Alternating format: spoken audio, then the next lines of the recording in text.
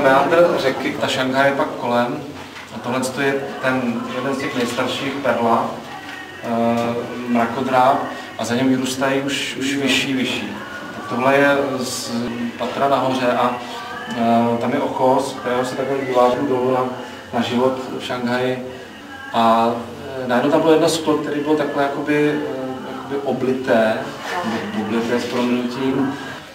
A pro mě to vyjadřovalo trošku takovou tu, takovou tu zvláštní atmosféru, kterou jako na ty vilice člověk neměl, ale pak v tom městě častokrát takové něco za tou zácnou, tím závěsem něčeho, to, co někde pomíjí a, a, a pak tam někde vzadu vyrůstá už nějaká budoucnost a, a v roce 2050 má mít asi 50 milionů obyvatel Šanghaj v roce 2050, takže otázka, jak pak ty města ještě budou fungovat, nebo jak budou fungovat zbytky, eh, tam to měřítko už přestává fungovat, to, to lidské.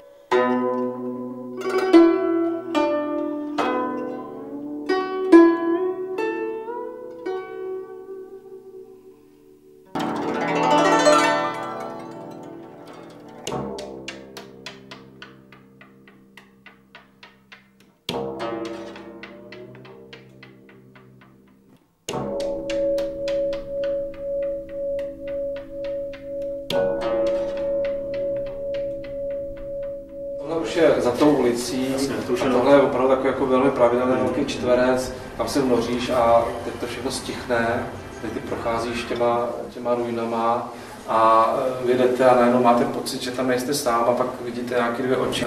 Tady tenhle ten pán bydlel v tomhle tom prostoru velmi malém, ten jeho svět byl prostě uzavřený v tomhle tom maličkém přílepku a ten pán samozřejmě nemluvil žádnou než čínskou řečí, takže jsme tak jako komunikovali nonverbálně přes eh, rybičky a kanáry a, a ten pán vypadal velmi spořádaně, čistě, takže vlastně jakoby takový kontrast vůči tomu zbytku kolem, vůči tomu prostoru, tím špinavým zdem, Takže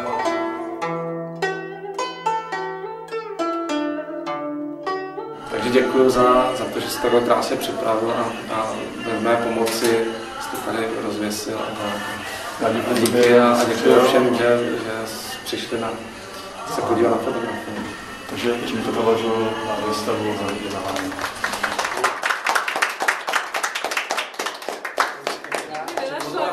nikdy nemůže být ve věci Jo, my se chtěli fotografovat.